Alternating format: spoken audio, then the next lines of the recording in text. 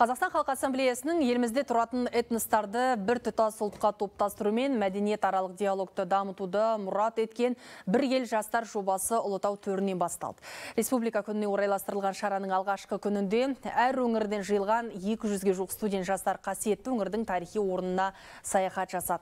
Алтын Орда мен қазақ хандары орда тіккен мекендерді аралады, ал бүгін Жезқазған қаласында жобаның пленарлық отырысы өтіп, жастар көшпелі экскурсияда көңілге түйгендерін ортаға салып пікір алмасты. Үш күнге жоспарланған жоба аясында бұдан бөлек шеберлік сабақтары мен тренингтер, мотивациялық кездесулерде өтеді. Түрлі этнос өкілдерінің құралған көңілді тапқырлар командалары достық кубогын сарапқа салады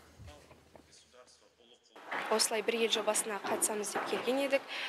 Кешегі күннен естеліктер өте көп. Алаша ханның кесенесіне бардық кесенесіне бардық.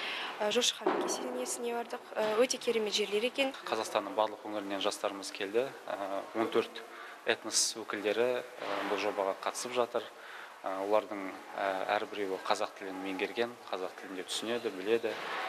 Тарихты білуге оны танытуға кейін өздерінің барған соң елдерінде жерлерінде айтуға ниеттелген жастарымыз қатысып жатыр.